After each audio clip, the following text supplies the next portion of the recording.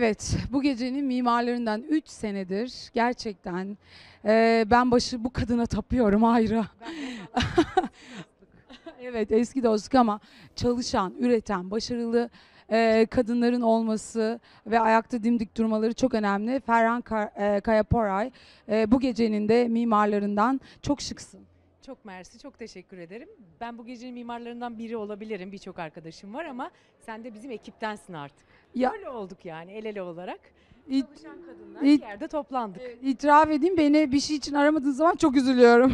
Aramaz mıyız? O bizim hatamız olmuştur o zaman. Estağfurullah şaka yapıyorum. Yani çalışmak, üretmek özellikle böyle önemli bir gecede olmak çok güzel. Ee, evet bu gece neler bekliyor izleyenleri? Ee, hayatı güzelleştiren kadınları göreceğiz bugün sahnede.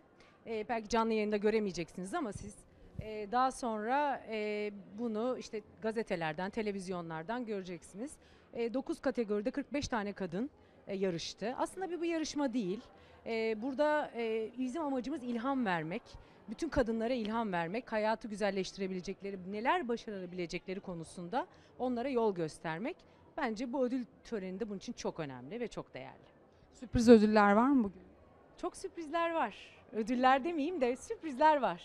Peki geceyi e, Mirgün Cabas sunuyor. Evet. Başka şeyler de var ama şimdi söylemeyeyim diyor. Abi küçük e, şey versek şu an bizi trafikte izliyor olabilirler. Teşekkür ederim. Ay, trafikte olanlara için çok üzgünüm ama evlerine bir an önce ulaşsınlar onu diliyorum.